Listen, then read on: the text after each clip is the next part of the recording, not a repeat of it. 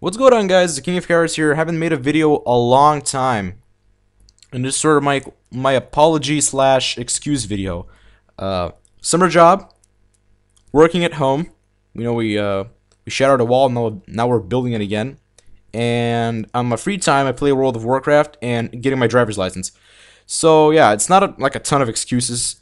It's not like excuse. That's why I've been making videos. I decided to you know take a break for YouTube to get into real life. It's kind of shitty. The graphics in real life are good, but the gameplay is crap. Yeah, uh, that's what I wanted to say, guys. Very short video. I don't know what video I'm gonna put in this audio. Probably some World of Warcraft, seeing my monk. You know, that that's the reason why World of Warcraft account is the reason. Well, thanks for watching, guys. Uh, see you guys next time. Stay subscribed and I will see you next time. Take care.